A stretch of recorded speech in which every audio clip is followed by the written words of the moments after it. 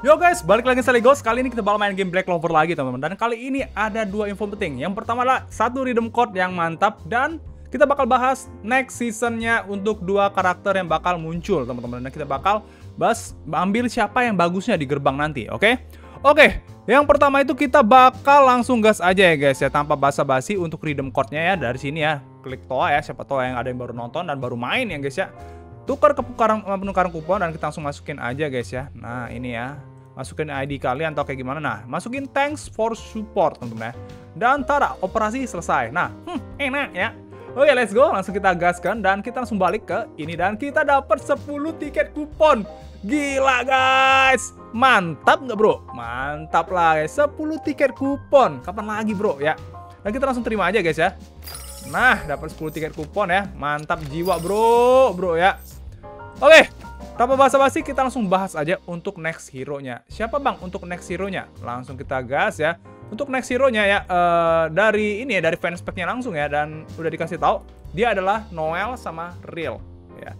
Dua karakter yang menurut gua ya bagus-bagus aja lah ya guys ya di uh, faksi uh, merah ya, red maupun di blue teman-teman ya dan dia bakal uh, muncul kawan bang dan kalau kita lihat di sini ada tanggal 13 ya jadi sebentar lagi tiga hari lagi ya tiga hari lagi bakal rilis ya. Jadi tunggu apa lagi? Persiapkan aja tiket kalian ya.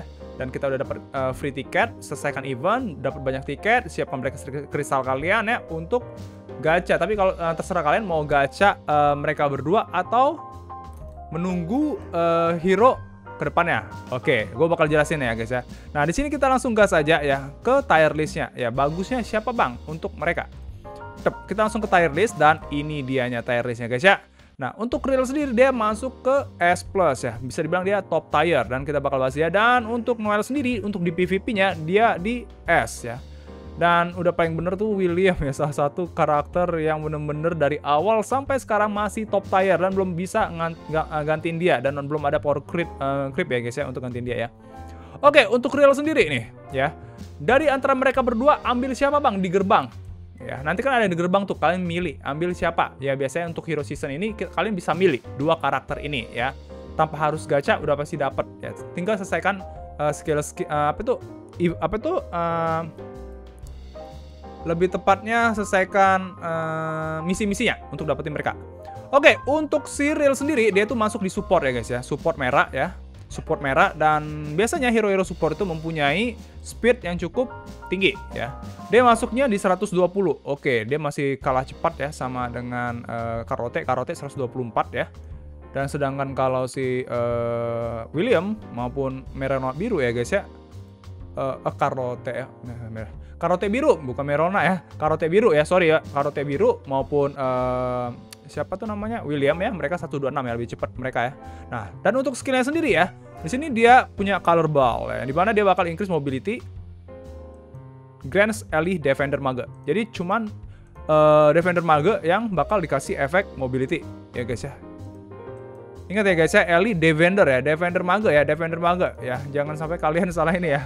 Defender Mage, teman-teman yang defend ya. Dan untuk skill 2-nya, dia tuh punya efek uh, ngasih reduce damage yang diterima ya guys ya. Damage taken ya guys yang diterima ya sebesar 8% ke semua teman-teman ya selama 2 turn. Dan kalau kalian punya SP-nya atau kill pack-nya, kalian bakal dapat increase speed level 1 ya selama satu turn dan ini bakal dikasih efek semua teman-teman kalian. Jadi semua teman-teman kalian udah pasti dapat speed dong. Nah, itu ke kelebihan dari uh, si Real sendiri yang bisa ngasih efek speed maupun reduce damage taken ya. Ingat harus punya SP-nya guys ya. skill pack-nya. Nah, untuk sini ya, untuk ultimate ya, dia bakal memberi ya 40% increase mobility. Nah, ini nih monored berjaya banget nih. Bakal bisa jalan di awal terus, teman-teman ya. Karena mobility-nya 40%, nambahnya gede banget guys ya. 40% tuh gede ya. Dan untuk serangan gabungan ya, dia bakal increase uh, eh, 5% mobility ya ke partnernya. Untuk pasifnya sendiri, kalau kalian naikin LR bintang bintang 2 ya, dia punya uh, plus SP ke diri dia sendiri ya. Setiap uh, turnnya ya turnnya uh, at the start of the turn ya. Setiap turnnya ya.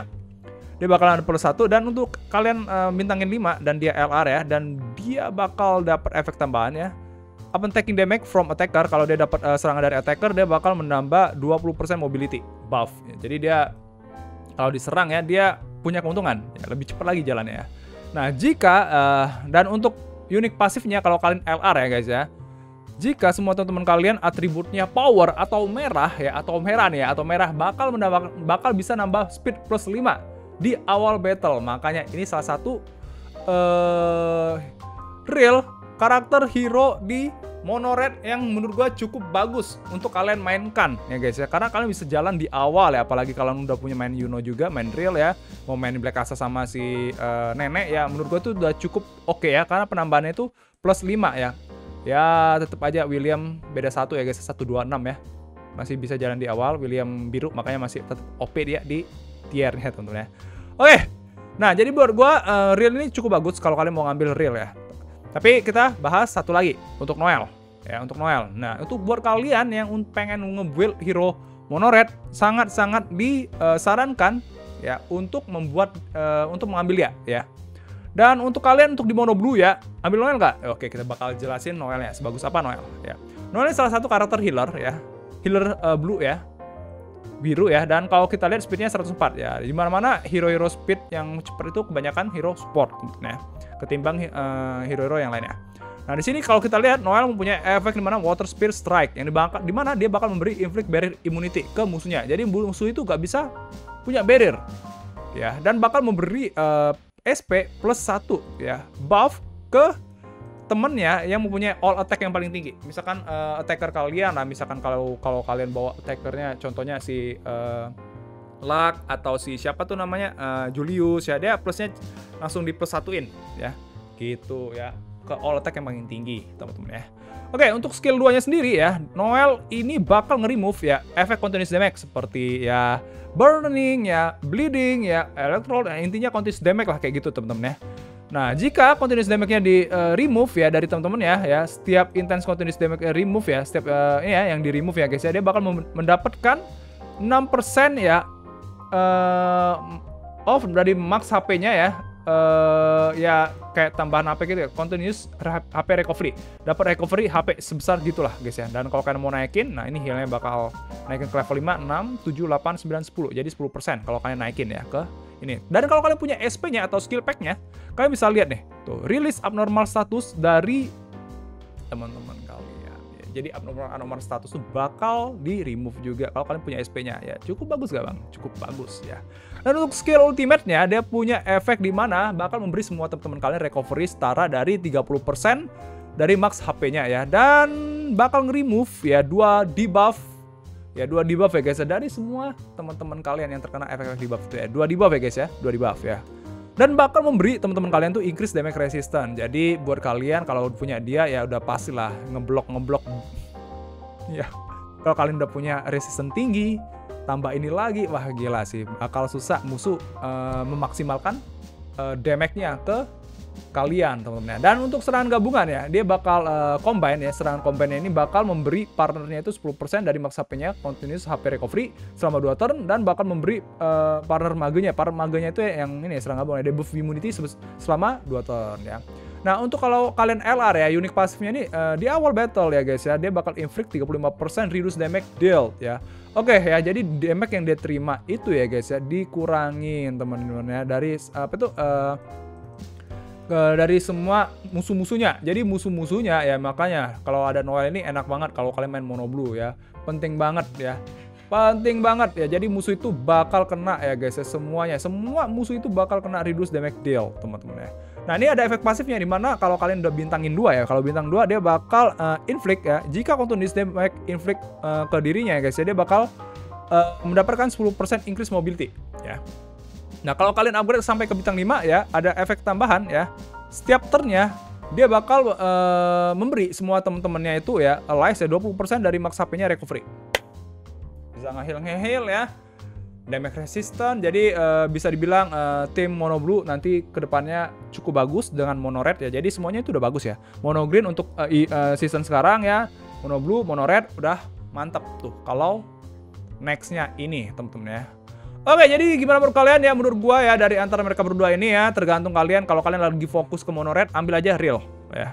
Jujur. Kalau kalian lagi fokus ke mono blue ya, misalkan kalian ini udah udah udah main Zora ya, William, Noel dan kalau kalian belum punya luck masih masih bisa pakai si Julius teman-temannya Julius ya. Nah, itu kalian masih bisa ya dan menurut gua agak tebal kalau kalian main si Noel dan bisa uh, dia ini salah satu healer support teman-teman ya yang cukup bagus ya teman-teman ya menurut gua teman-teman ya.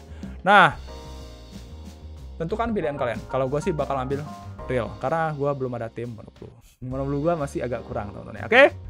Oke teman-teman gimana menurut kalian teman-teman ya untuk next eventnya teman-teman ya apalagi ditunggu teman-teman nanti bakal kalian lihat ya buat kalian pemain baru nanti di sini ya di gerbang ini bakal muncul teman-teman ya oke oke kalau kalian suka dengan konten gue jangan lupa di like subscribe tinggalkan komentar lain aktifin juga loncengnya biar kalian dapat notif live dari gue maupun konten menarik dari gue juga pastinya teman-teman dan jangan lupa bahagiakan diri kalian baru bagian lain gue Ligos undur diri susmanya and bye bye